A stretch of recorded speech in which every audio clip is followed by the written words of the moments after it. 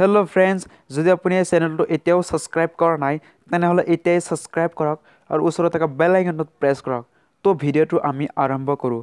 যদি আপুনি এটা ইউটিউবাৰ হয় অৰ্থাৎ আপুনি যদি ইউটিউবত ভিডিঅ' দিয়ে তো সেই ভিডিঅ'ত যদি আপুনি এডিট কৰিব নাজানে তো কেনেকৈ আপুনি এডিট কৰিব? তো ভিডিঅ'টো সম্পূৰ্ণ চাওক।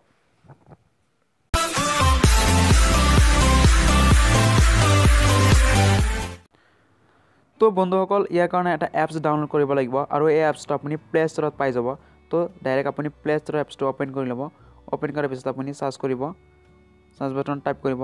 কাইন মাষ্টাৰ কাইন মাষ্টাৰ লিখি আপুনি টাইপ কৰিব। যিটো আপোনাৰ প্ৰথমত আহি যাব আপুনি আপুনি সেইটো ইনষ্টল কৰি ল'ব। যিহেতু মোৰ ইনষ্টল আছে তো মই ডাইৰেক্ট অ'পেন কৰি লৈছোঁ।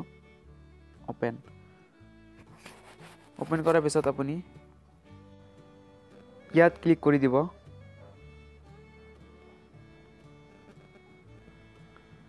ক্লিক কৰাৰ পিছত এনেকুৱা এটা পেজ খুলিব। তাৰপিছত আপুনি ডাইৰেক্ট মেডিয়াত যাব। মেডিয়াত আপুনি ইয়াত লাহেকৈ ক্লিক কৰি দিব। ক্লিক কৰাৰ পিছত আপোনাৰ গেলাৰীৰ পৰা যিকোনো এটা ভিডিঅ' আপুনি চিলেক্ট কৰি ল'ব। মই এইটো ভিডিঅ' লৈ আছোঁ। তো ইয়াৰ পৰা এটা ভিডিঅ' চিলেক্ট কৰি লৈছোঁ। তাৰপিছত আপুনি এই ছাইডত আপুনি এটা চিহ্ন দেখিবলৈ পাইছে। আপুনি ইয়াত ক্লিক কৰি দিব। ক্লিক কৰাৰ পিছত আপুনি এবাৰ ভিডিঅ'টো আপুনি অ'পেন কৰি চাব। ইয়াত ক্লিক কৰিব অ'পেন তো নিশ্চয় দেখিবলৈ পাইছে তো এই ভিডিঅ'টো অ'পেন হৈ গৈছে। তো আপুনি এনেকৈ আপুনি ভিডিঅ' এটা ভালদৰে এডিট কৰিব পাৰিব।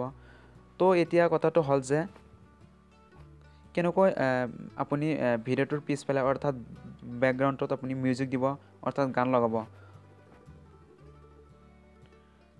তো আপুনি যদি মিউজিক দিয়ে তেনেহ'লে আপুনি অডিঅ' আপুনি ইয়াত ক্লিক কৰিব অডিঅ'ত ক্লিক কৰাৰ পিছত আপুনি ইয়াৰ পৰা যিকোনো আপুনি গান ল'ব পাৰে মিউজিক ল'ব পাৰে। তো আপুনি মই এটা মিউজিক লৈছোঁ। তো মই মই এই মিউজিকটো লৈ আছোঁ। তো মিউজিকটো লোৱাৰ পিছত আপুনি ইয়াত ক্লিক কৰিব ক্লিক কৰাৰ দিছে আপুনি এবাৰ অ'পেন কৰি চাব পাৰে। তো চাওক আমাৰ মিউজিকটো অট'মেটিক আপুনি আমাৰ মিউজিকটো অলৰেডি অ'পেন হৈ গৈছে।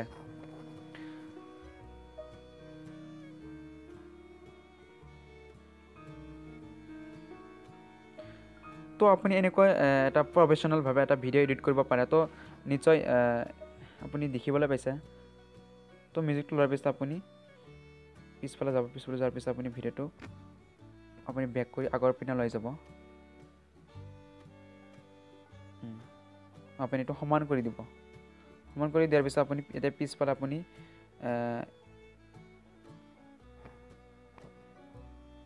মিডিয়া আপুনি মিডিয়াত যাব মিডিয়া যোৱাৰ পিছত আপুনি আপুনি বেকগ্ৰাউণ্ড আপুনি ল'ব বেকগ্ৰাউণ্ড বেকগ্ৰাউণ্ড লোৱাৰ পিছত আপুনি মই এইটো বেকগ্ৰাউণ্ড লৈছোঁ তাৰপিছত আপুনি আপুনি ৰাইটত ক্লিক কৰি দিব ক্লিক কৰি দিয়াৰ পিছত আপুনি এইটো অলপ বঢ়াই ল'ব এনেকৈ পিছফালে বঢ়াই ল'ব বঢ়াই লোৱাৰ পিছত আপুনি এতিয়া ডাইৰেক্ট ইয়াত ক্লিক কৰি দিব।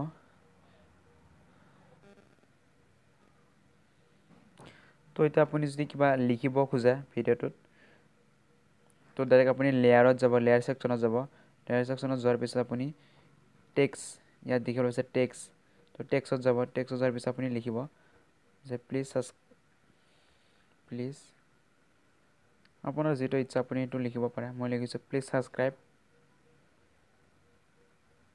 মাই চেনেল তো লিখি লিখি এনেকৈ লিখি আপুনি ডাইৰেক্ট অ'কে কৰি দিব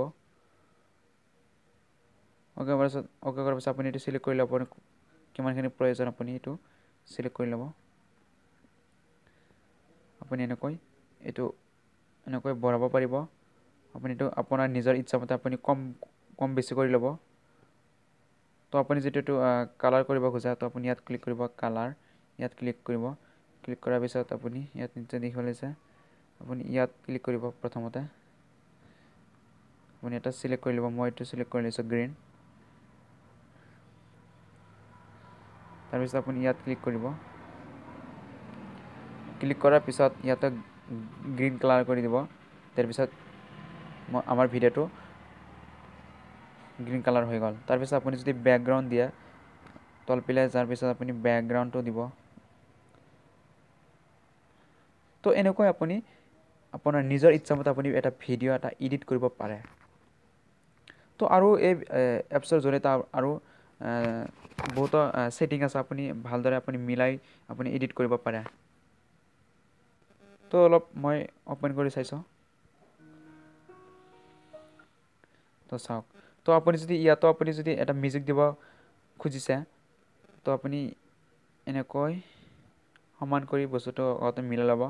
মিলাই লোৱাৰ পিছত আপুনি আকৌ অডিঅ'ত যাব। অডিঅ'ত যোৱাৰ পিছত আপুনি যিকোনো ইয়াৰ পৰা মিউজিক ল'ব। তো মই এইটো মিউজিক লৈছোঁ এগেইন তো মই এইটো লোৱাৰ পিছত আপুনি মই ডাইৰেক্ট আকৌ দিছোঁ। তো চাওক মই আকৌ মিউজিকটো লৈছোঁ। তো এনেকুৱা আপুনি ভিডিঅ' এডিট কৰিব পাৰিব।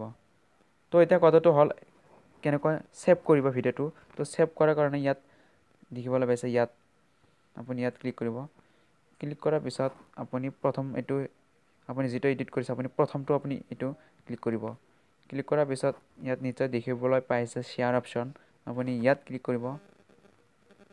ক্লিক কৰাৰ পিছত এইটো আপোনাৰ নিজৰ ইচ্ছামতে আপুনি কোনটো ছেকশ্যন ল'ব এইটো এইচ ডি ল'ব H D three sixty P তো মই এইচ ডি লৈছোঁ। তো এইচ ডি লোৱাৰ কাৰণে আপুনি এইচ ডিটো চিলেক্ট কৰিব চিলেক্ট কৰাৰ পিছত আপুনি ডাইৰেক্ট এক্সপৰ্ট আপুনি ইয়াত ক্লিক কৰিব। এক্সপৰ্টত ক্লিক কৰাৰ পিছত ইয়াত ক্লিক কৰিব। No' thank save with save তো ভিডিঅ'টো আমাৰ ছেভিং হৈ আছে। তো এনেকৈ এটা ভিডিঅ' আপুনি আপোনাৰ নিজৰ ইচ্ছামতে আপুনি ভিডিঅ' এডিট কৰি আপুনি ইউটিউবত দিব পাৰে।